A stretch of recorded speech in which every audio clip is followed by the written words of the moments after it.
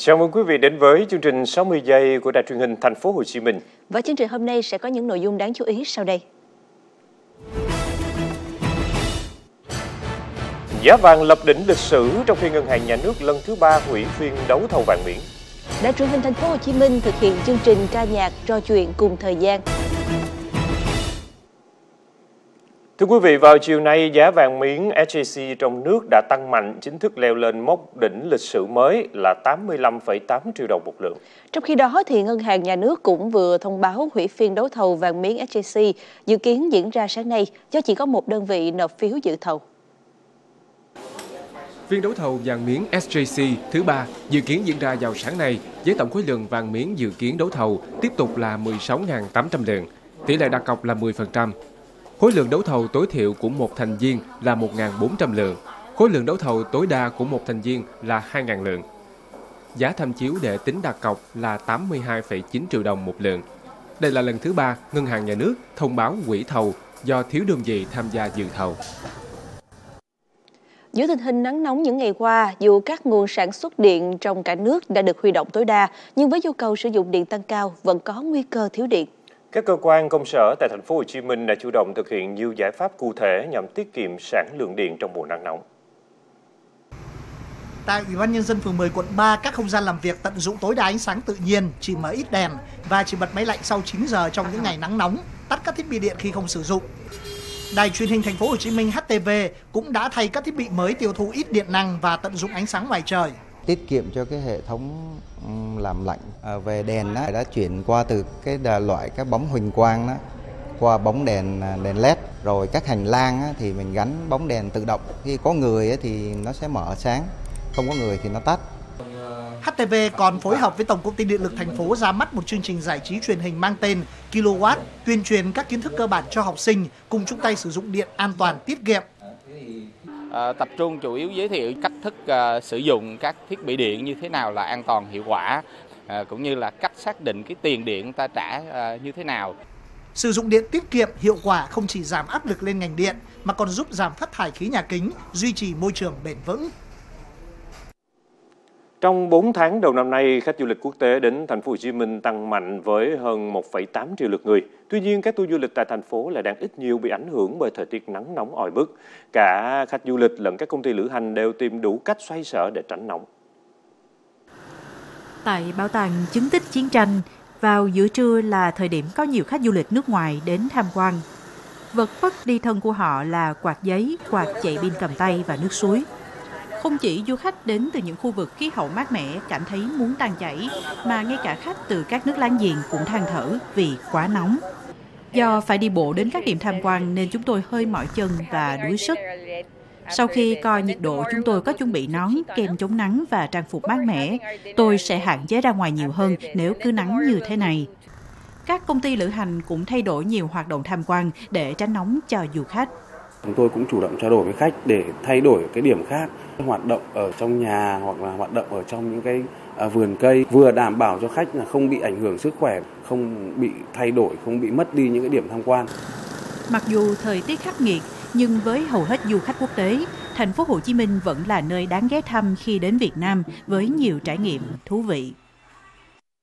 Hôm nay, Bệnh viện Lê Văn Thịnh, thành phố Thủ Đức, thành phố Hồ Chí Minh cho biết 15 học sinh tiểu học vẫn đang được theo dõi chăm sóc sau một ngày nhập viện nghi ngộ độc thực phẩm do ăn sushi, bánh mì bán trước cổng trường.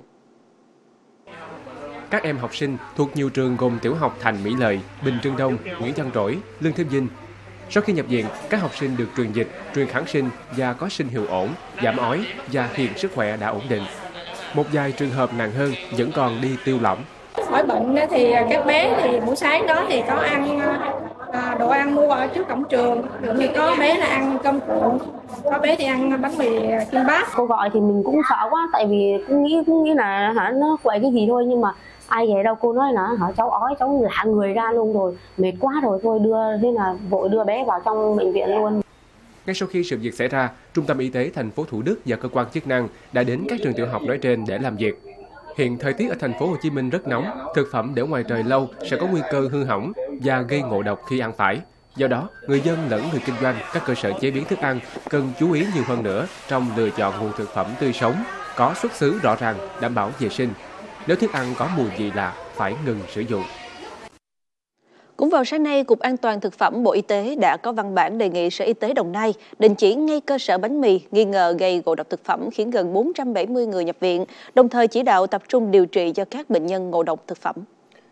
Chuyển sang một thông tin khác, Thưa quý vị, tư vấn tâm lý học đường trước nay thường chú trọng đến lứa tuổi học sinh trung học cơ sở và trung học phổ thông, mà quên đi đó cũng là một nhu cầu thiết yếu với lứa tuổi tiểu học. Ở tuổi này các em còn thiếu kỹ năng sống nên dễ bế tắc khi đối mặt với những vấn đề phức tạp của cuộc sống.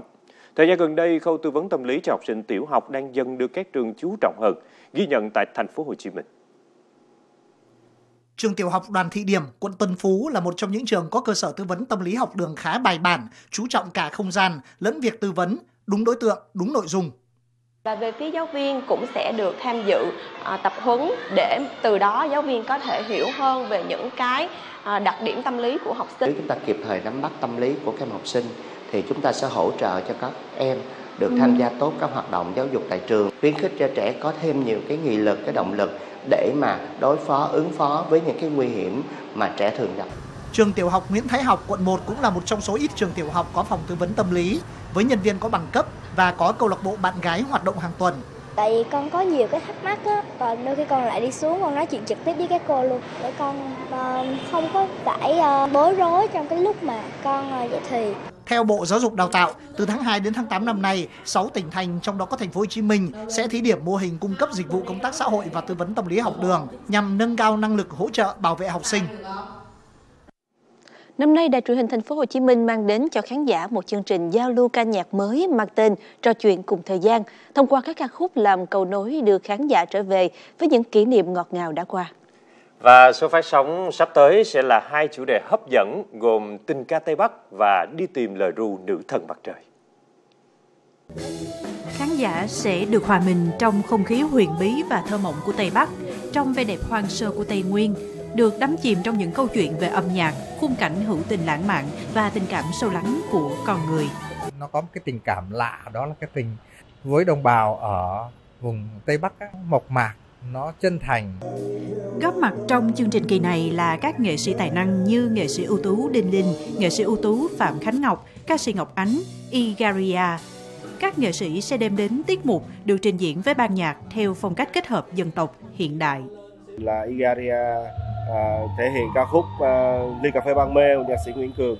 Nó à, mang được à, hết những hương sắc, à, cả cả màu sắc cũng giống như là hương vị mình khi mình à, thưởng thức một ly cà phê.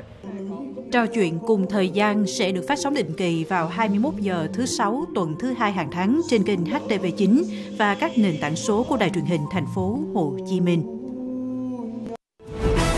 Tiếp theo trong phần thông tin quốc tế của chương trình, nhà mốt Chanel tổ chức trình diễn thời trang trên mái nhà. Người thợ cơ khí ở Iran nổi tiếng nhờ tạo ra các bản sao xe sang.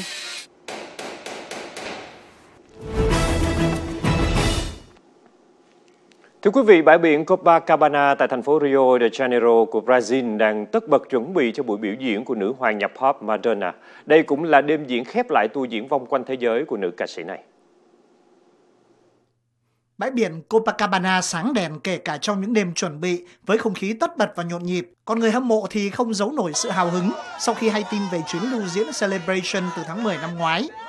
Tất cả những gì ở đây làm tôi nhớ đến câu chuyện của mình. Đó là khi tôi mua chiếc băng cassette đầu tiên của Madonna lúc 3 tuổi. Đây chính là chiếc băng đó. Và hôm nay tôi đã thực hiện được ước mơ gặp được thần tượng của mình. Thành phố này dự kiến đón tiếp khoảng 1 triệu du khách đến xem buổi diễn của Madonna. Đây là một trải nghiệm rất độc đáo, không bao giờ có lại được. Tôi đã đến đây từ đầu năm và rất thích thành phố bãi biển cũng như đêm nhạc sắp tới. Đêm nhạc của Madonna sẽ diễn ra vào ngày 4 tháng 5. Tại thủ đô Budapest của Hungary có một quán bar nổi tiếng nhờ lối trang trí độc đáo với hàng ngàn tờ ghi chú viết tay bao phủ các bức tường và trần nhà. Bước vào quán, du khách có thể cảm nhận được không gian ấm cúng từ ánh sáng, cùng việc các bức tường cho đến trần nhà đều được ốp hoàn toàn bằng gỗ. Nhưng điểm đặc biệt nhất khi đến đây là khách hàng có thể để lại lời nhắn và cảm nghĩ trên những tờ giấy nhỏ rồi dán chúng lên tường. Mỗi bàn đều có một giỏ hạt phỉ lớn, có thể dùng miễn phí không giới hạn. Họ có thể vứt vỏ hạt xuống đất vì sàn đã được trải rơm. Ngoài ra bức tường còn dán đầy thông điệp khắp mọi nơi. Khách hàng có thể để lại ghi chú ở đây cho người khác. Tôi chưa bao giờ thấy một nơi như thế này ở bất cứ đâu, giống như ở Italia nơi tôi từng đến. Ở đây rất độc đáo. Quán rượu For Sale là địa điểm yêu thích của khách du lịch nước ngoài trong nhiều thập kỷ. Ban đầu các bức tường và thậm chí cả trần nhà được bao phủ bởi đủ loại tiền giấy và danh thiếp do khách để lại.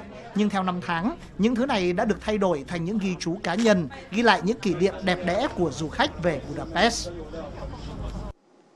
Hãng thời trang Pháp Chanel vừa tổ chức buổi trình diễn thiết kế của họ trên sân thượng một tòa nhà ở Marseille. Với mộ điều gọi đây là cách mà nhà mốt này phá vỡ hình ảnh cao sang thực thể. Đáng chú ý, sự kiện lần này của Chanel thu hút nhiều gương mặt nghệ sĩ trẻ. Dựa trên quan niệm phổ biến là thành phố Marseille miền Nam nước Pháp là nơi có văn hóa đường phố phát triển. Chanel muốn tiếp cận nhóm đối tượng trẻ trung hơn qua các mẫu thiết kế của họ được trình diễn trong khung cảnh gây bất ngờ này. Tiếng tâm của Marseille chắc chắn là rất tương phản với phong cách thời trang cao cấp của Chanel, nên sự tương phản đó tạo nên sự tò mò rất lớn về buổi trình diễn. Đó là những mô típ trang trí trẻ trung mới lạ được sử dụng trên các thiết kế trang phục như vest, cung lê, cổ điển của nhà tạo mẫu được xem như bảo thủ. Vì vậy, người ta có thể thấy bộ sưu tập có những mẫu mang phong cách thời trang đường phố, đó là nón trùm đầu, quần thể thao được may cắt khéo léo và thêu thùa tỉ mỉ. Một người thợ cơ khí ở Iran đang trở nên nổi tiếng nhờ tạo ra bản sao của những chiếc xe sang danh tiếng thế giới, trong đó có những chiếc xe cộ của Pháp với giá trị lên đến hàng chục triệu đô la Mỹ. Anh Jamshid Nazemi từng tạo ra bản sao chiếc Bugatti Royale đời 1931 của Pháp. Chưa dừng lại ở đó, anh còn thử thách bản thân với việc tạo ra bản sao của chiếc Bugatti La Voiture Noire có giá lên đến hơn 18 triệu đô la Mỹ và chỉ sản xuất có một lần. Tôi đã hứng thú với việc chế tạo từ nhỏ và thử làm ra nhiều thứ, nhưng tôi chọn ô tô vì chúng rất hấp dẫn. Tôi đã dùng toàn bộ thời gian để chế tạo ô tô trong vòng 5 năm qua. Anh cùng các cộng sự đã chế tạo một số bộ phận của ô tô hoàn toàn bằng tay. Chiếc Bugatti này chỉ sản xuất một lần và hầu như không còn phụ kiện của nó nữa. Nếu không gặp khó khăn về tài chính, thì chúng tôi có thể hoàn thành trong khoảng 1 đến 2 năm. Bugatti là hãng ô tô của Pháp do ông Ettore Bugatti, người Italia thành lập vào năm 1909 ở thành phố Monchem.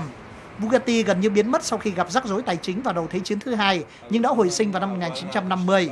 Thương hiệu này hiện thuộc sở hữu của tập đoàn Volkswagen và sản xuất những chiếc xe thể thao hạng sang cao cấp. Tiếp theo trong phần thông tin an ninh trật tự và an toàn giao thông. Bắt giữ đối tượng giả vờ hỏi đường để cướp giật dây chuyền. Xe đầu kéo tông tử vong, nam nhân viên trạm thu phí xa lộ Hà Nội.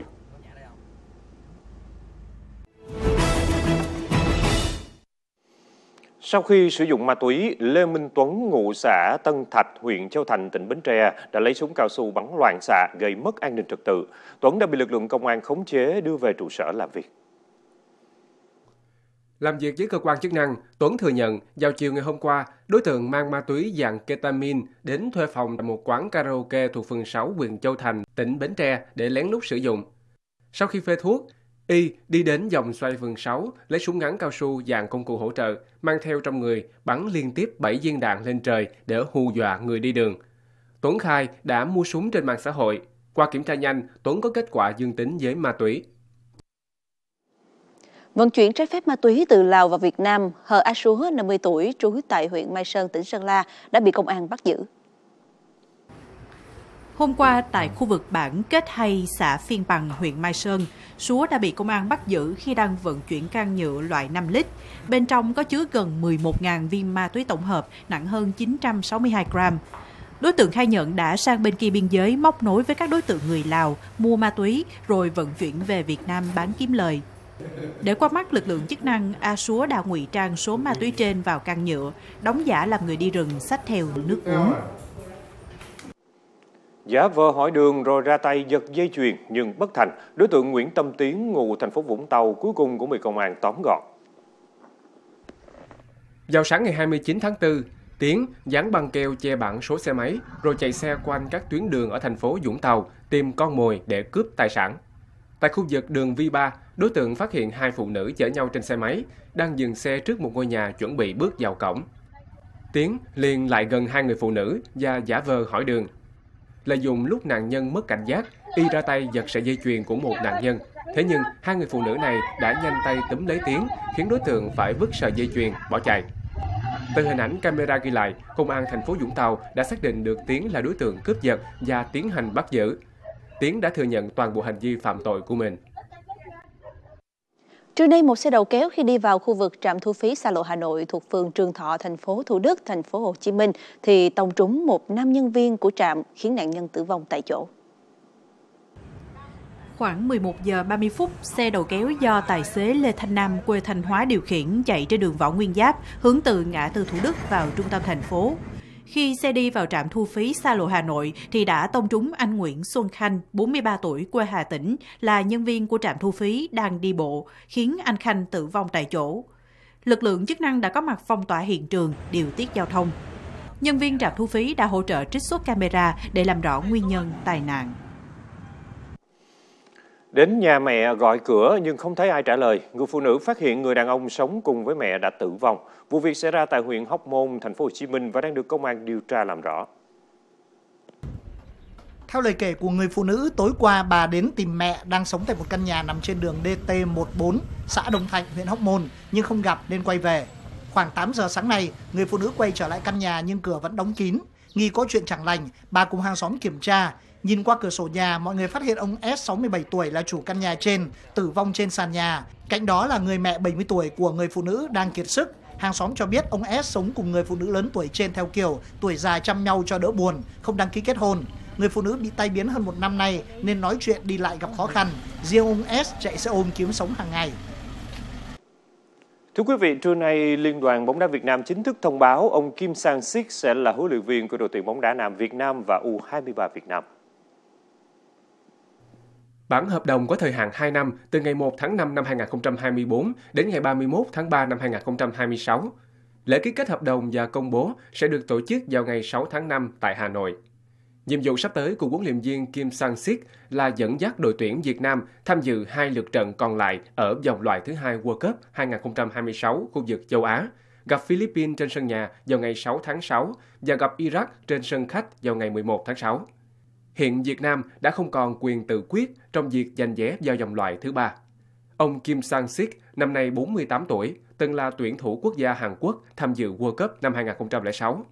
Khi chuyển sang sự nghiệp huấn luyện, ông đã đưa Jeonbuk Hyundai Motors vô địch Hàn Quốc năm 2021 và Cúp Quốc gia Hàn Quốc năm 2022. 22 giờ 30 phút tối nay, Nhật Bản và Uzbekistan sẽ đối đầu với nhau trong trận chung kết U23 châu Á. Ai chiến thắng cũng sẽ lập nên kỷ lục mới, trở thành đội đầu tiên vô địch giải đấu hai lần. Kể từ khi giải được lập ra năm 2012, Nhật Bản đã vô địch năm 2016, còn Uzbekistan là năm 2018. Ở giải năm nay, Uzbekistan đang thể hiện phong độ cao khi thắng cả 5 trận đã qua, ghi 14 bàn và chưa thủng lưới lần nào. Trong khi đó, Nhật Bản khởi đầu không quá bùng nổ ở vòng bảng, nhưng khi vào vòng loại trực tiếp đã có những trận thắng thuyết phục trước Qatar và Iraq. Xét về thành tích đối đầu, Uzbekistan đang chiếm ưu thế. Trước đó trên đường đến chức vô địch năm 2018, Uzbekistan từng thắng Nhật Bản đến 4-0 ở tứ kết. Hai năm trước họ cũng đánh bại đối phương 2-0 ở bán kết. Tuy nhiên, huấn luyện viên Go Oiwa của Nhật Bản không quá bận tâm về vấn đề này. Tất nhiên, chúng tôi nhớ trận đấu hai năm trước, nhưng giờ là một trận đấu khác. Chúng tôi đã phân tích Uzbekistan có sự chuẩn bị cho trận đấu để giành chiến thắng. Về mặt lực lượng, hai đội không có mất mát nào đáng kể. Các cầu thủ hai bên đã sẵn sàng cống hiến một trận chung kết hấp dẫn. Lễ hội đua ngựa Hoàng gia Windsor đang diễn ra tại Vương quốc Anh trong tuần đầu tháng 5 với nhiều hoạt động thú vị và hấp dẫn. Trong đó thu hút đông đảo khán giả đến trường đua là cuộc tranh tài dành cho các nài ngựa nhí. Năm nay, 10 nài ngựa nhí so tài trong sự kiện Shetland Pony Grand National. Các em có độ tuổi từ 13 trở xuống. Cô bé Lily Tripp 11 tuổi đã giành chiến thắng trong cuộc thi hôm 2 tháng 5. Đây là lần đầu tiên em có mặt ở đây. Em luôn muốn tham gia một cuộc thi đua ngựa nên rất háo hức. Kết quả này thật tuyệt vời. Người bạn đồng hành cùng các thí sinh là những con ngựa thuộc giống ngựa lùn Shetland. Chúng có chiều cao trung bình từ 75 đến 107 cm. Mặc dù có kích thước khá nhỏ, nhưng giống ngựa này rất khỏe mạnh. Không khí nơi đây thật tuyệt vời. Con ngựa của em chạy rất nhanh, giống như em vậy. Em rất vui. Lễ hội đua ngựa Hoàng gia Windsor là sự kiện thường niên, được tổ chức tại lâu đài Windsor từ năm 1943. Lễ hội diễn ra từ ngày 1 tháng 5 đến hết Chủ nhật 5 tháng 5. Thông tin vừa rồi cũng đã khép lại chương trình 60 giây chiều nay.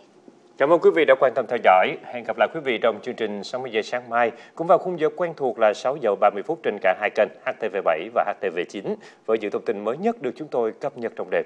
Chúc quý vị có một buổi tối thư giãn thật vui vẻ. Xin kính chào tạm biệt.